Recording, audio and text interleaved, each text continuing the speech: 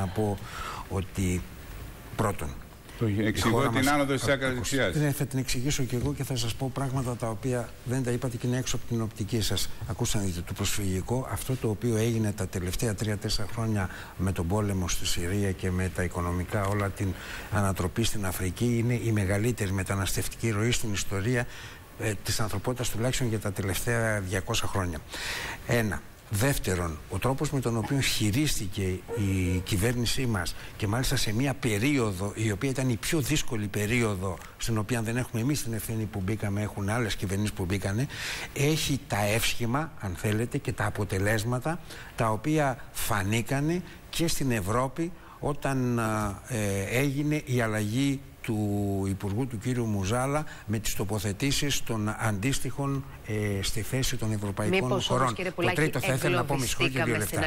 Ε, δίνοντας μία εξήγηση ο κύριος ο Κέρτσος ότι το προσφυγικό είναι η μοναδική αιτία ή τουλάχιστον μόνο αυτή είπε η βασική θα ήθελα να πω ότι η βασική αιτία της ανόδου των ε, ακροδεξιών ε, απόψεων σε όλες τις χώρες ή στο, στο μεγαλύτερο ε, μέρος των χωρών της Ευρωπαϊκής Ένωσης είναι πρώτα απ' όλα όχι μόνο το ότι χάθηκε το όραμα πριν από 60 χρόνια αλλά το ότι επικράτησε μια νεοφιλελεύθερη πολιτική λογική στην οικονομία, της, στην, στην οικονομία μια αυστηρή λιτότητα για τους λαούς η οποία για να επιβληθεί έφερε αν θέλετε και μείωση των δημοκρατικών θεσμών όπου αναλόγως σε κάθε χώρα. Αυτό λοιπόν είναι η βασική αιτία και εδώ, επειδή εγώ μιλάω με το μέλλον και θέλω να καταθέσουμε προτάσεις, είμαστε ευτυχείς το ότι πήραμε την πρωτοβουλία και συμμετείχαμε σε αυτή την πρωτοβουλία που έγινε και στην Ελλάδα το περασμένο Σαββατοκύριακο,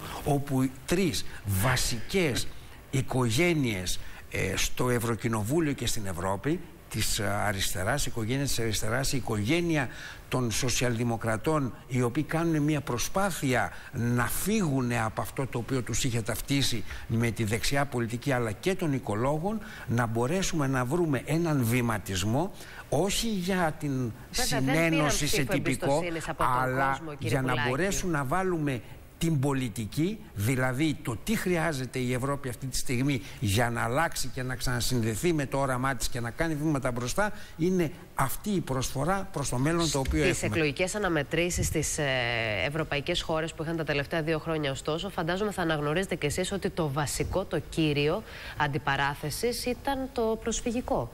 Η οικονομία ήρθε σε δεύτερη μοίρα τα τελευταία δύο χρόνια. Με συγχωρείτε, ο Σαλβίνη πήγε από το 4% στο 18% πάει να γίνει πρωθυπουργός της Ιταλίας στη βάση του προσφυγικού. Εγώ είπα ότι είναι και τα τρία.